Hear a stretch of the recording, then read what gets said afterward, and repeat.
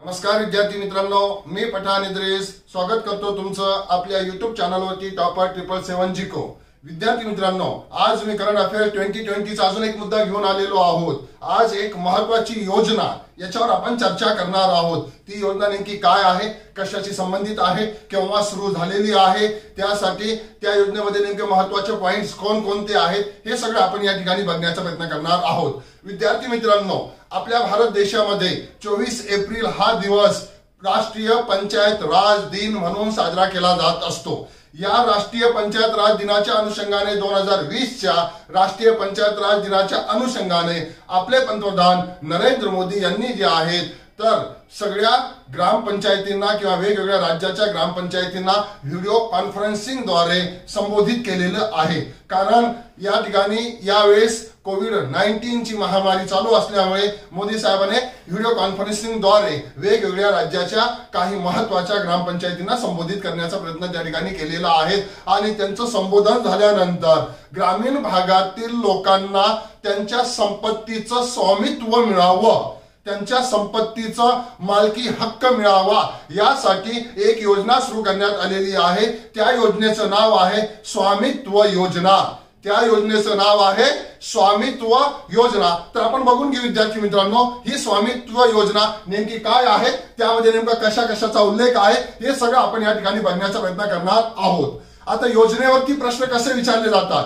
तर सगळ्यात पहिला प्रश्न योजनेवर असा विचारला जातो की योजना केव्हा सुरू झाली? त्याच्यामुळे आपल्याला योजना सुरू झाल्याची तारीख आज माहिती असणं गरजेचं आहे. स्वामित्व योजना चोवीस एप्रिल दोन हजार वीस रोजी. स्वामित्व योजना चोवीस एप्रिल दोन हजार वीस रोजी पंतप्रधान नरेंद्र मोदी यांनी सुरू केलेली आहे आणि त्यांच्यासोबत आपल्या भारत देशाचे केंद्रीय पंचायत राज मंत्रालयाचे मंत्री नरेंद्र सिंग तोमर सुद्धा होते. म्हणजेच पंतप्रधान नरेंद्र मोदी आहे आणि आपल्याकडे मंत्रालय आहे केंद्रीय पंचायत राज मंत्रालय. त्याचे मंत्री नरेंद्र सिंग तोमर. आता मला सांगा की आपले जे नरेंद्र सिंग तोमर मंत्री आहेत ते नेमके कोणत्या राज्यातून बिलॉंग करतात कोणत्या राज्यातील ते आहे ते मला सांगण्याचा प्रयत्न त्या ठिकाणी करा. तर अशा पद्धतीने जे आहेत चोवीस एप्रिल दोन हजार वीस रोजी सुरुवात झालेली आहे. सुरुवात कोणी केली? पंतप्रधान नरेंद्र मोदी यांनी या योजनेची सुरुवात केलेली आहे. या योजनेचा उद्देश आपल्याला परीक्षेमध्ये विचारला जात असतो. तर स्वामित्व योजनेचा उद्देश आहे की ग्रामीण भागातील लोकांना त्यांची जी संपत्ती आहे त्या संपत्तीचा मालकी हक्क मिळवून देणे. मालकी हक्क मिळवून देणे आणि त्याचं त्या ठिकाणी त्यांना त्या पद्धतीचा कागदोपत्री किंवा त्याचं एक प्रमाणपत्र देणे. कारण विद्यार्थी मित्रांनो ग्रामीण भागामध्ये बरेच असे संपत्ती अशी आहेत की इंग्रजांच्या काळांपासून वादातीत आहे. लोक तर घरामध्ये राहतात परंतु त्यांच्याकडे त्या घराची मालकी हक्क नाही. त्या घराचं त्यांच्याकडे कोणताही दस्तावेज नाही. असे भरपूर लोक आहे ग्रामीण भागामध्ये. तर त्या ग्रामीण भागातील सर्व लोकांना त्यांचे त्या जे मालक असतील आवासी त्या भागामध्ये ते राहत असेल आवासी भागातील त्यांचं मालिक मालकी हक्क मिळवून देण्यासाठीची ही स्वामित्व योजना आहे. मोदी साहेबाने चोवीस एप्रिल दोन हजार वीस रोजी सुरू केलेली आहे. कारण आपल्या सरकारचं उद्दिष्ट आहे की ग्रामीण क्षेत्र जे आहे दिवसेंदिवस स्ट्रॉंग आपल्याला करायचं आहे. त्या दृष्टिकोनातून हा एक महत्त्वाचा भाग आहे. आता पुढचा प्रश्न आहे की ही योजना किती राज्यात राबवली जाणार आहे? तर ही योजना सुरुवातीला प्रायोगिक तत्वावरती सहा राज्यामध्ये राबवण्यात येणार आहे.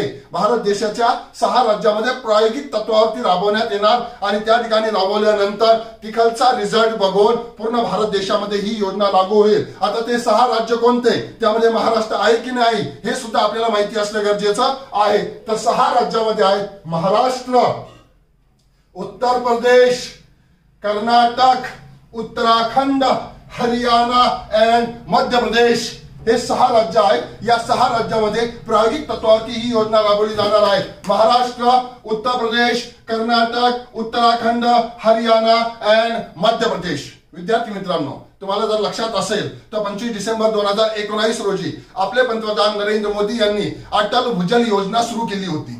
आणि ती अटल भूजल योजना ही सुद्धा प्रायोगिक तत्वावरती काहीच राज्यामध्ये राबवली जाणार आहे. तर मला कमेंट बॉक्समध्ये सांगा की अटल भूजल योजना प्रायोगिक तत्वावरती किती आणि कोणत्या राज्यामध्ये राबवण्यात येणार आहे? अशा पद्धतीने हे सहा राज्य. आता या योजनेचे महत्त्वाचे पॉईंट आपण या ठिकाणी बघण्याचा प्रयत्न करू. महत्त्वाचे मुद्दे आपण या ठिकाणी बघण्याचा प्रयत्न करू की या योजनेमध्ये नेमकं काय काय केलं जाणार आहे. तर सगळ्यात पहिलं आहे की ड्रोनद्वारे संपत्तीचं डिजिटल चित्रीकरण केलं जाणार आहे. म्हणजेच त्या गावावरती जे आहे ड्रोन फिरवला जाईल. आणि ड्रोन फिरवल्यानंतर ड्रोनद्वारे प्रत्येक घराचं डिजिटल चित्रीकरण करण्यात येणार आहे. म्हणजे त्याची एक मॅपिंग तयार केली जाईल. मॅप तयार केला जाईल त्याचा आणि डिजिटल चित्रीकरण झाल्यानंतर प्रत्येक व्यक्तीनुसार प्रत्येकाच्या मालकीचा हक्क मिळवून देण्याच्या दृष्टिकोनातून त्या संपत्तीचं एक प्रमाणपत्र तयार केलं जाईल आणि त्या त्या मालकाला ज्या मालकाची ती संपत्ती आहे परंतु त्याच्याकडे कोणत्याही प्रकारचं त्याचं प्रूफ नाही कोणत्याही प्रकारचं मालकी हक्क प्रमाणपत्र नाही कोणत्याही प्रकारचा दस्तावेज नाही. त्याला एक प्रमाणपत्र त्या ठिकाणी दिलं जाणार आहे. सगळ्यात पहिला मुद्दा आहे की ड्रोनद्वारे डिजिटिकल डिजिटल चित्रीकरण केलं जाणार आहे. त्याच्यानंतर डिजिटल चित्रीकरण झाल्यानंतर प्रत्येकाला मान मालकी हक्क प्रमाणपत्र दिलं जाणार आहे. यामुळे काय होणार? तर यामुळे ग्रामीण भागामध्ये नियोजन करण्यासाठी फायदा होणार आहे. कारण ग्रामीण भागामध्ये ग्रामपंचायतीकडे सगळा एक डिजिटल दस्तावेज असेल प्रत्येक घराचा दस्तावेज असेल प्रत्येक नकाशा असेल त्याच्यामुळे नियोजन करण्यासाठी खूप फायदा होणार आहे. त्यानंतर संपत्ती संबंधित वाद सोडवण्यासाठी फायदा होणार आहे. विद्यार्थी मित्रांनो जर आपण ग्रामीण भागामध्ये गेलो आपण सगळे ग्रामीण भागाकडूनच आहोत. ग्रामीण भागामध्ये संपत्तीवरून कायम वाद विवाद चालू असतो. कोणी कोणाचं बाण करतोय कोणी कोणाचं काय करतो असे भरपूर वाद सुरू असतात. आणि त्याच्यामुळे हे वाद सोडवण्यासाठी या स्वामित्व योजनेचा फायदा होणार आहे. कारण सरकार प्रत्येकाला प्रमाणपत्र देणार आहे. त्याच्यामुळे वाद संपुष्टात येईल गावातील त्याच्यानंतर महसूल गोळा करणे व महसूल यंत्रणे कामामध्ये सुलभता आणण्यासाठी याचा फायदा होणार आहे. आता विद्यार्थी मित्रांनो इकडे लक्ष द्या की समजा जर एखाद्याला मालकी हक्क मिळाला त्या घराचा तर त्याला टॅक्स सुद्धा भरावं लागणार आहे. म्हणजे महसूल सुद्धा जास्त गोळा होणार आहे. घरपट्टी पाणीपट्टी वगैरे जे ग्रामीण भागामध्ये जमा केले जातात महसूल ते सगळं महसूल जमा करण्यासाठी फायदा होणार आहे. आणि महसूल सुद्धा त्यामध्ये वाढणार आहे. त्याच्यामुळे हा एक महत्त्वाचा फायदा या ठिकाणी होणार आहे. त्याच्यानंतर ग्रामीण भागातील लोकांना बँकेकडून कर्ज घेण्यास सुलभता येणार आहे. शहरी भागामध्ये प्रत्येकाच्या नावावरती त्याची संपत्ती असते म्हणून त्याला कर्ज घेण्यासाठी बँका कर्ज देण्यासाठी मागे पुढे बघत नाही. कारण ते काहीतरी त्या ठिकाणी मॉर्गेज ठेवत असते.